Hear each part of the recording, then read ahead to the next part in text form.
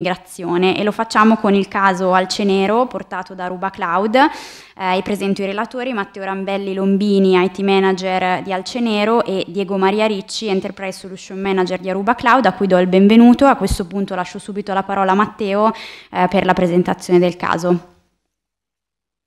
Buongiorno, buongiorno a tutti, grazie per l'invito.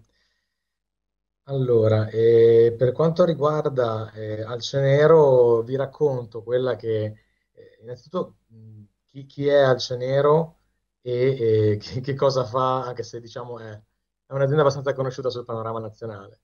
Alcenero è un'impresa che eh, diciamo è un po' unica nel suo genere, perché dal 1978 promuove un'agricoltura di tipo biologico ha sviluppato oltre 350 prodotti, da passata di pomodoro alla pasta di grano, all'olio, latti vegetali, legumi, frollini, insomma, tantissime referenze. E sono veramente tante, ce ne sono altrettante che vengono prodotte ogni anno dalla nostra area ricerca e sviluppo. Quello che eh, è un po' il, eh, l'idea di Alcenero è promuovere un'agricoltura biologica e riportare i valori e, e tutto quanto quello che l'agricoltura biologica propone nei propri prodotti, mettendo al centro eh, non eh, solamente il profitto, ma eh, il prodotto e soprattutto un, un tema, un valore. Questo, questo, che vedete adesso è il nuovo purpose di Alce Nero e forse l'avrete riconosciuto perché ci sono stati alcuni passaggi pubblicitari di recente, una campagna pubblicitaria in televisione. E il purpose propone di produrre cibo onestamente, nel rispetto della natura, buono, che alimenta la vita delle persone oggi, sostenendo la vita sempre. Questa per noi è un po', diciamo, la sintesi dei valori dell'agricoltura biologica di Alce Nero, che fanno parte eh, proprio della ricetta dei nostri prodotti e che cerchiamo di raccontare ai nostri consumatori, diciamo, perché ci scelgano. Ovviamente io sono IT manager di Alce Nero e penso di essere più indicato a raccontare più che eh, l'azienda e il valore della filiera, quanto, vista un po' l'occasione di oggi, quello che è stata la nostra esperienza di migrazione al cloud che abbiamo fatto insieme ad Aruba eh, lo scorso anno. Eh, trasloco, allora questa, questa slide c'è scritto trasloco perché trasloco è stata un po' la parola che eh, negli uffici e nel nostro dipartimento è risuonata per diversi mesi. Alcenera è un'azienda che è cresciuta eh, molto in fretta e in poco tempo, ha affrontato quattro traslochi in meno di dieci anni, proprio per andare a rincorrere un po' la sua crescita, sia in termini di persone negli uffici, quanto di necessità di, ehm, di spazio nel magazzino per la parte logistica. In particolare, l'ultimo trasloco che abbiamo fatto eh, lo scorso anno eh, aveva tutte le caratteristiche per essere quello più complesso, perché avrebbe fatto spostare sia la parte uffici che la parte magazzino, ma soprattutto eh, c'è una una particolarità, cioè che Alcenero è monosede, eh, aveva un sistema eh, VMS per gestire appunto la parte logistica on-premise e ovviamente come tutte le aziende, ma soprattutto le aziende di logistica, non poteva permettersi un fermo del sistema, perché questo equivaleva a perdere delle spedizioni, a perdere il fatturato con dei numeri molto importanti. Ecco, a questo punto c'erano due scenari possibili, che la soluzione 1, adesso questa è un'immagine simpatica ovviamente creata con intelligenza artificiale, visto che era molto di moda, era traslocare fisicamente il data center con tutte le complessità che questo si porta dietro, cioè dal dover riconfigurare i server, riconfigurare il network, avere di fatto un fermo operativo, avere un sacco di incognite, eh, oppure ciò che io invece cerco sempre di fare e che cerco di eh, raccontare un po' anche ai miei colleghi, cercare di trasformare il problema in un'occasione ossia con l'occasione del trasloco fare un ultimo trasloco della parte infrastrutturale, soprattutto quella più critica, più delicata, quella legata al VMS verso il cloud, di modo che eh, non, eh, non, si fosse più legati fisicamente a una eh, localizzazione del server del data center, ma si potesse usufruire solamente della disponibilità dei dati e degli applicativi. Ed è un po' eh, quello che abbiamo fatto. Ecco. Diego, non so se vuoi Beh. intervenire anche tu, noi abbiamo scelto Aruba come partner per diversi motivi. Eh, io qui ne ho rilegati tre, ci sono i costi certi, il Made in Italy e, e, il basso impatto, però forse per la parte di Aruba sei più, sei più tu la persona indicata a parlare di queste cose. Sì, sì, assolutamente. Intanto buongiorno a tutti. E, ecco, Alcenero appunto un grandissimo caso di successo. No? Poi Matteo ha raccontato l'azienda, ha raccontato la, l'esigenza. E sicuramente c'è stata anche una comunione di intenti con Alcenero, no? anche una condivisione di valori, perché molti dei valori che Alcenero ha come azienda li ha altrettanto anche, anche a Ruba. Eh, sicuramente la migrazione, no? come dicevi Matteo, è stata una, un grande caso di successo e, e Aruba ha contribuito sicuramente come partner non solo tecnologico ma anche di servizio eh, in, questa, in questa migrazione. Bene, grazie a entrambi per questo caso, insomma, che ci fa capire anche come effettivamente il cloud possa essere un supporto a un'azienda in crescita, no? a una scalabilità eh, che, come diceva Matteo, permette poi di non dover traslocare più tutto, ma eh, di supportare la crescita dell'azienda in modo flessibile. Eh, è chiaro che eh, questo trasloco, questa migrazione cambia poi eh, in modo, eh, dic- direi, radicale, diciamo, le modalità di gestione poi delle risorse informatiche, in particolare particolare eh, diciamo, porta anche a una maggiore chiaramente variabilità dei costi e incertezza diciamo, nella previsione di quello che sarà eh, il costo effettivo del, del cloud. E quindi mh, chiedo a te Diego come eh, siete riusciti diciamo, a garantire eh, una visione sui costi certa e a costruire questo caso di successo in questo senso. Sì, questo diciamo, grazie, grazie per la domanda, questo è sicuramente uno dei nostri valori più importanti, il tema dei, dei costi, dei costi certi, cioè riuscire a fare un passaggio sul cloud eh, senza avere la preoccupazione di dover eh, eh, pianificare continuamente il budget, continuamente modificarlo, eh, non avere la certezza dei costi, sicuramente sappiamo quanta ansia poi crea ai nostri clienti. Per questo noi Invece, all'opposto, abbiamo fin da subito, fin da sempre, abbiamo impostato una, diciamo una, una, buona pratica che è quella di avere i costi certi. Cioè il cliente quando passa, passa su Aruba ha costi prestabiliti, cioè può pianificare tranquillamente la propria spesa, il proprio budget e quindi ha modelli di costo molto simili a quelli dell'on-premise con il grande vantaggio del cloud, grandissima scalabilità modalità diciamo, di usufruire delle risorse on demand.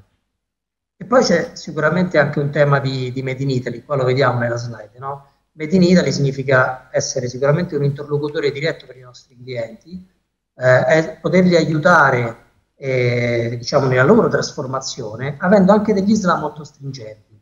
Ma Made in Italy, noi lo sappiamo, no? Made in Italy significa anche principalmente costruire abiti su misura, cioè capire le esigenze del cliente, capire le esigenze in questo caso di Alciniero e costruire, costruire degli abiti su misura.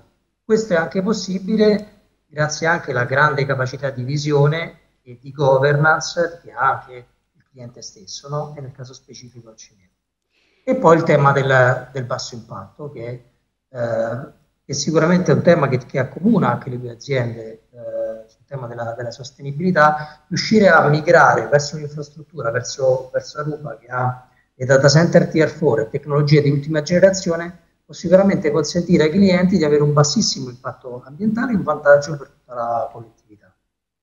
Bene, grazie Diego. A questo punto ti faccio un'altra domanda. Prima eh, Matteo raccontava appunto come ovviamente se non funziona il magazzino una, per un'azienda come Alcenero significa che l'azienda non lavora, quindi eh, chiaramente in un, un, percorso di migrazione di un applicativo di questo tipo è anche volendo un rischio per la continuità operativa e quindi ti chiedo eh, insomma come siete riusciti a gestire questo rischio e poi a fare effettivamente una migrazione efficace, se, efficace senza eh, generare creare problemi sui processi aziendali.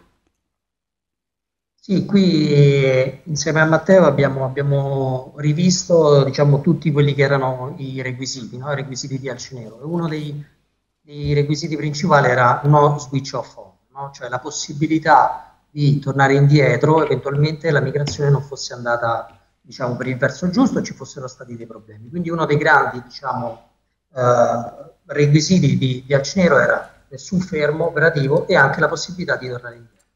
Quindi noi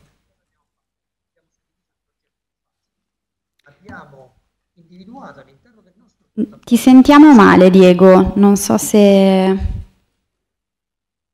Mi sentite? Mm, leggermente basso. Meglio? Ora sì, ora sì. Meglio, ok. Dicevo, quindi rispetto al, al requisito di, di Alcenero, no? nessun fermo operativo e possibilità di failback nel caso la migrazione avesse avuto qualche problema, abbiamo suddiviso il progetto in, in quattro fasi. La prima fase è stata quella di individuare la soluzione, il servizio, la tecnologia migliore che rispondesse ai requisiti di Alcenero, avendo noi diverse tecnologie a disposizione del nostro portafoglio.